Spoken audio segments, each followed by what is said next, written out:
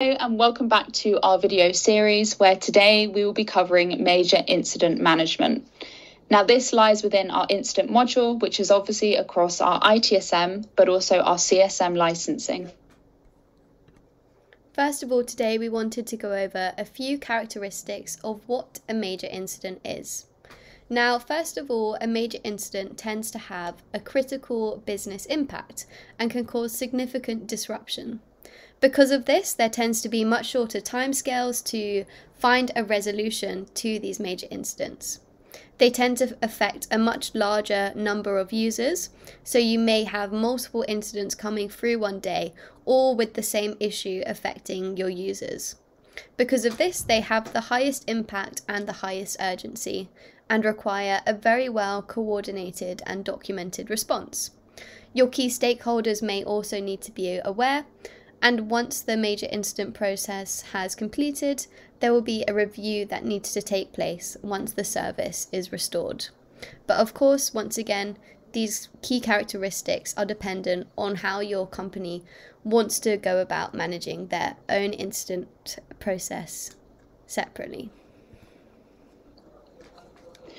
Now, today in our video, we're going to do a demonstration of the major incident management process, which will focus on these four key areas. So obviously we need to start by identifying the existing incident and proposing it as a major incident candidate. The second key feature is the communication and collaboration throughout. So we need to make sure that IT teams, the business stakeholders, end users, and customers are all informed about the impact and the progress of this particular incident. Third, we need to agree upon the path to resolution and make sure that this, this issue is resolved as quickly as possible. And lastly, we have the post incident review. Now, the purpose here is to analyse the incident and understand what can be done to prevent a similar incident happening in the future. So let's see this in practice in the demo. Now we're in the service operations workspace, which we have outlined in a previous video if you wanted to see a bit of a walkthrough of our workspace. But today we're impersonating Laxmi, who is our service desk agent. Now, today Laxmi has been assigned a particular incident that is around an issue of the email. Now, if we click into the details, Laxmi can obviously see more information. She can see the impact and the urgency of this particular incident. But more importantly, on the right hand side, under our agent assist functionality, Laxmi is able to see that there are actually many other similar open incidents coming through regarding this issue with the email. Because of this, she's going to act fast and go ahead and propose a major incident. She simply clicks on the three dots at the top of the workspace, fills in the work notes, just to give our major incident manager a bit more context as to what is going on. After the work notes have been filled in, just simply putting the business impact as high, and we will go ahead and propose this major incident for the major incident manager to look at. Now we'll take a look at this from the major incident manager's point of view. So starting off today, we're in the major incident overview dashboard. So first of all, in this overview tab, he can get a great view on any major incidents that are currently overdue, any that may be unassigned, and the total number of open major incidents. Scrolling down, we can see incidents grouped by priority, and you can stack these by different categories. So, if we want to see this by assignment group, we can update all of this data in real time from this single dashboard, and same for priority. We can also see any major incidents that are older than seven days, and incidents by priority and state. But like all dashboards in ServiceNow, this is easily configured to what would be most useful for you to see. We can also see all active major incidents and also all resolved major incidents from this single dashboard as well. Today we're going to take a look at the major incident candidates. And here we can see the major incident proposed by Laxmi just a second ago. So you can see our caller is Storm, the email service has been impacted. And scrolling down here, we can see all the work notes and activities that have already happened on this. So Laxmi's proposed this as many users are infected and a critical service is down. And then at the bottom here, we can see the major incident state is currently proposed and it's been proposed by Laxmi as the business impact is high. Now we can also view all of this information in a workbench. And this workbench provides a single pane view for major incident managers, communication groups, and resolvers to manage incidents in a single location by aggregating all the relevant information to this major incident all in this one single spot. So first of all, in this summary tab, we can see impacted services, affected CIs, and any child incidents all at the top. If we click onto this, it will immediately take us to view this in the list view. So we can also see all child incidents here. We can also create new and we can find similar in the system, which will search for this um, and it can give the support teams the ability to manage all of these child incidents in one go, saving them a lot of time from individually going through all of them. We can also add in incident tasks here. Inevitably giving us the best place to manage all related information, all in this one single spot. Now that we've reviewed this information, we can either promote this to a major incident or reject it. And today we are going to promote it.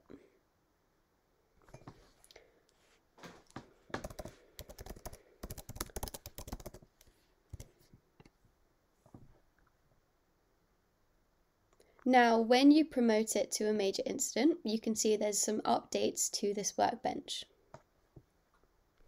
There is now a duration timer that's appeared, which shows an active timer that tracks it from the creation of the original incident, and the timer will stop once the incident has been resolved. We can also see the state here is new, but we have the ability to change and update this as we like. And lastly, within this summary tab, we also have visibility into all the communication tasks that are associated with this major incident. So we can see the ones that are currently active. So there's a planning meeting currently in progress. And we can also see the tasks that are completed. However, we do have a tab specifically just for communication, which is to help you understand the progress of a communication plan and its related tasks. So here we can see the communication tasks. We have a filter here at the top to see the active and completed one, and we can also come in here and add new tasks. So we can see which plan we want this to be associated with. We can add in a short description of what the task is going to be, which channel we want this to go out from, and also assign a template here and when we want this due. Next, we can define which recipients we want this to go to. So say I want to add a new group into this, and we can go for architectures and we can assign them a responsibility as well. We simply save this and now our new task is here. We can also compose our email as we specified that as a channel from this specific workbench as well. So we can see all our um, recipients we've specified here, add in our subject and send out our email and just like that, we've managed it all from this workspace. Now this is really helpful when you might not have a well-defined existing communication plan in process as part of managing major incidents is having clearly defined and well documented communication processes, making sure everyone's informed and we all know what's happening. Now, at the side here, we can also see if there's any active groups that we can currently contact, and we can also filter here for groups and see who we can contact straight away um, and if they're available or not. The last tab we can see here is the collaboration tab, which helps you view all of the information about your communication tasks that have conferences as part of their communication channel. So using Teams or Slack. This can allow you to manage participants that are part of this call, and you can also add in those conferences calls as well and specify the certain channel, whether this is a Teams chat or a Slack chat and when you want this to be due. And just the same as, as we've seen before, you can specify which users you want this to go out to. We can then see when this meeting is due and if it's overdue, and we can initiate the calls from within this workbench as well, which will take us directly into a Teams window. If the call is in process and an ITIL user who has access to this workbench sees this, they can also join the call from the specific workbench as well. And the conference leader always has the ability to mute, unmute, or kick an active participant by hovering the active participant and clicking to end the call. And like always, we can see the groups at the side that are on call and any active people so we can know who we can send an email to straight away.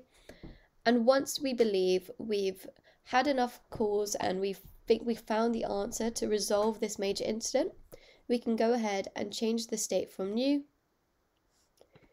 into resolved. Then we add our resolution code.